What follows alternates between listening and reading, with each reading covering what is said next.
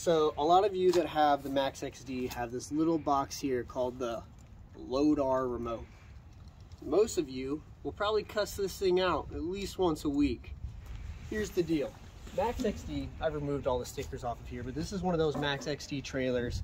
It's not one of like the crazy ones where you've got the, you know, hydraulic tarping system or the hydraulic jacks, but we do have an all-in-one remote for the up and down hoist and the winch. It's all in one remote. So these have come in uh, virtually different styles ever since they came out with them um, because I think they've been really trying to find a system that works. Uh, I have one of the older models of these and it used to come with two remotes. Huge pain. This was a step up, this single Lodar remote, but it still has its hiccups and it drives me nuts. The signal is awful. Right now, of course, we don't have a dumpster loaded on here, so you, it's not the best demonstration because all of our dumpsters are out.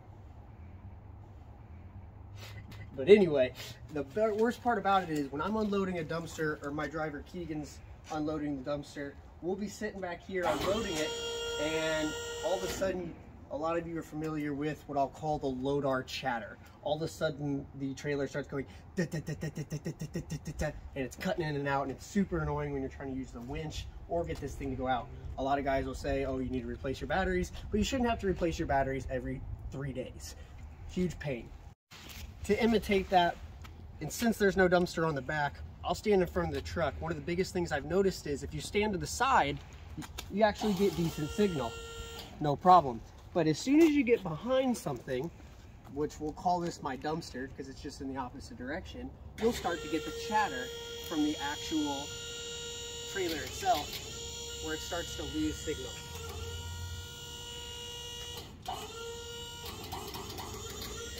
And what's super annoying about that is it's not consistent. It's sometimes you've got really great signal, sometimes you're not. Sometimes you're literally right next to the trailer and if it's too cold or there might be something blocking, it'll just start chattering and making all kinds of noise, which I can't imagine is super good for the hydraulic system as it is. But and again, it's just not consistent, really frustrating.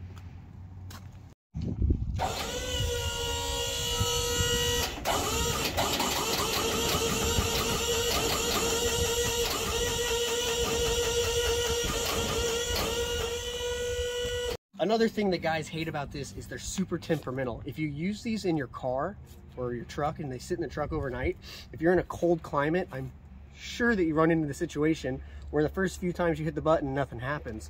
And that's because the thing literally is frozen. Or you have to do the old, you know, old dad technique of just beating on it until it starts working again, which is, I mean, it's not the 90s anymore, boys. You shouldn't have to do that to your remote. Tuff Wireless, here to solve all your problems. Find it. All right, so here's the deal, guys.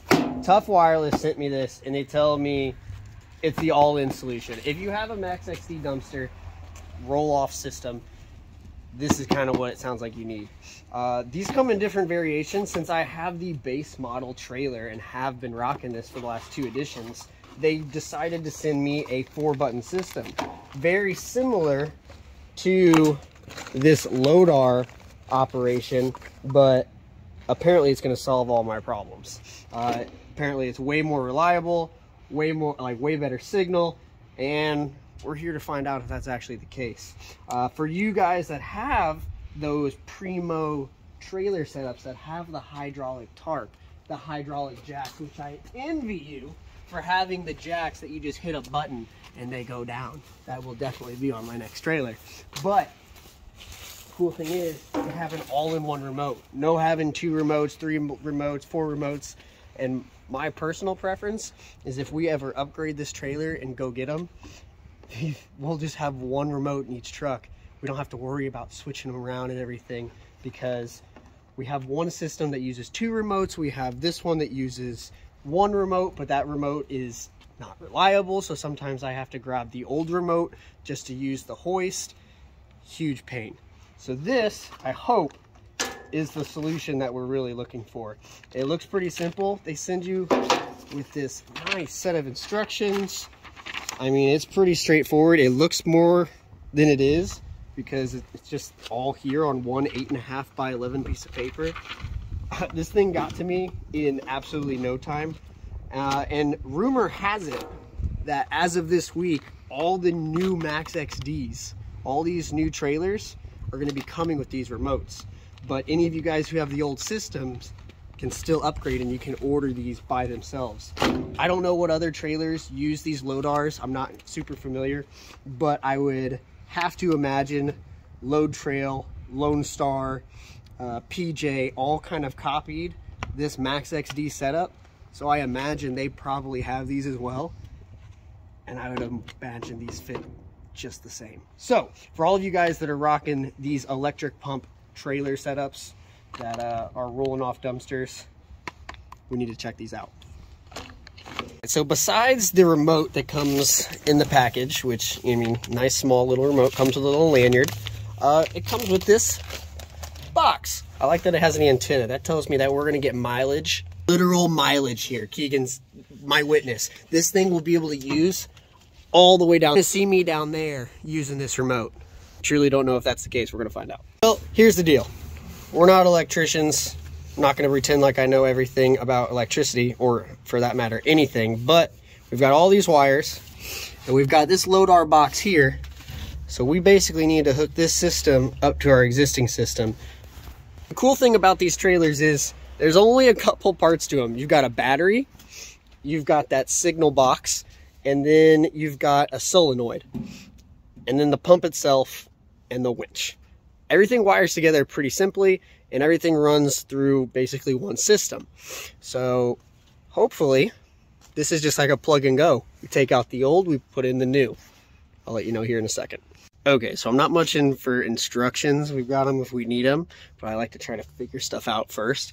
And uh, right off the bat, right off an observation, all of the colors here match the colors that are here. So if I was a betting man, if you essentially put all of these colors in the same order that these colors come in, the only moderate difference on my trailer that I noticed was we have an orange. There is no orange here, but we do have a brown. So if I had to guess, that is the same exact setup as this Lodar, which would be awesome for a plug and go system. Keegan's already starting to take this thing apart. So we'll find out if that's the case. I'll let you know if I blow it up. So our theory's adding up. This white one right here is apparently for winch input and output, or at least according to these quick instructions, the white is for the winch output. We unplug the white out on here and no longer does the remote work to tell the winch to move. So the theory adds up. The colors essentially are lining up so far. So you take one of these that comes in this little package here and you crimp it to the white wire. That's pretty much the easiest instructions you could possibly follow. Don't be intimidated by a bunch of wires, guys. It's not that hard to figure out. All right, so I hope you didn't just like stop the video right when I told you that all the colors match up because colors do not match up. Instructions do matter. Keegan and I just spent all that time putting that together. And as you can see, got this nice little remote working. And uh, if I hit down, well, take a look at what that works. Well, let's lift the hoist down. Well, that's not the hoist. That's the winch. Give us just a minute. We figure out our wiring situation.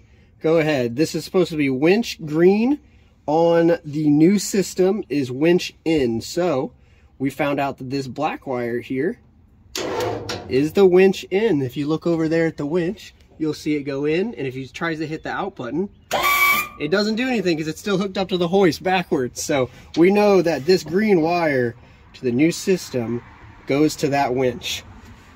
Let's get it hooked up. Guys, with these electric pumps that you see on dump trucks and these trailers, they're super simple. So the fact that we literally just went wire to wire trying to match colors was, I mean, just clearly silly. Because here you go. These, by this solenoid, this all controls your hoist. These hydraulic mechanisms all control the hoist. So obviously, when you read the instructions, and if it says the hydraulic up or down, you're going to be figuring out between two wires. And outside of that, for the up or in and out, you'll be figuring out between two more wires for the winch. That wire coming out from the floor goes to your winch. That's the only wire coming out from the floor that you actually have to mess with, which goes directly to the winch, in and out. Everything else is over here. Common sense is obviously your power. So your red and your black, your uh, plus and negative. All right, this is insanely impressive. Take a look at this. There he is, way over there with the remote. That is amazing. Keep going, keep going. Oh, for all of you guys who have that Lodar, you know exactly what I'm talking about. There's no way it would have done that. Making him go even farther. Let's see if we can get a block away. All right, do it.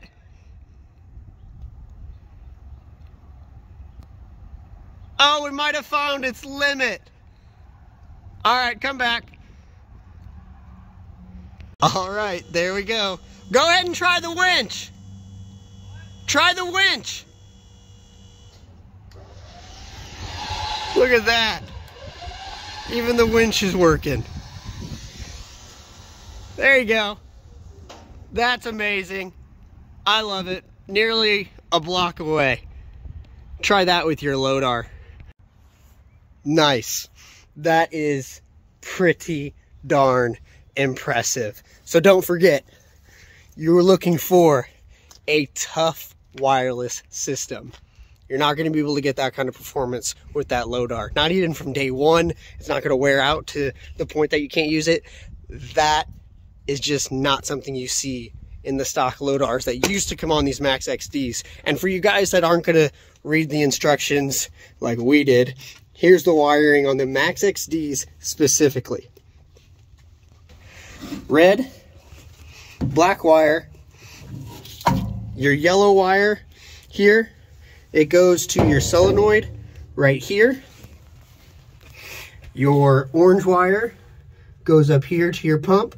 Your blue wire goes up here to the pump as well.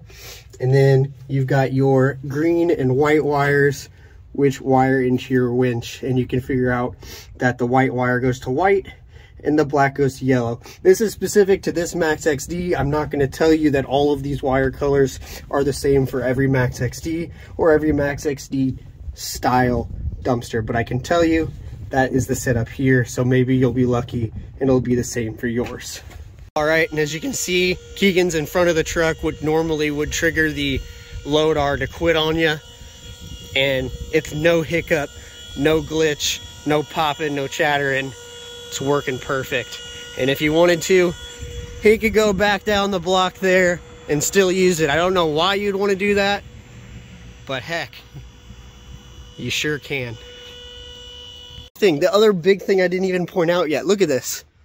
That is a charging port. There's no more batteries. Every time you get done using this, have one of the, uh, I believe this is mini USB, have that just plugged into your truck. So this thing's always sitting there charging. You never have to worry about one of those AA batteries going dead on you or freezing up to the point that you have to warm it up in your pocket before it can work again.